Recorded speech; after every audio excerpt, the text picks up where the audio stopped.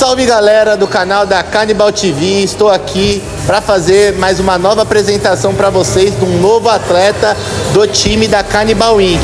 Ele que veio aí para fortalecer o time, para ficar o time mais pesado. Ele vai se apresentar aqui, falar um pouquinho da sua trajetória, um pouquinho da sua vida. Se apresenta aí. Fala galera, meu nome é Bruno Rocha, sou atleta Classic Physique Open B. Subi semana passada no Olímpia, fiquei no segundo call out com mais de 54 atletas e agora vou em busca do Pro. A próxima batalha vai ser no Nacional, que acontece daqui um mês e a gente vai trabalhar duro para conseguir esse Pro Card lá.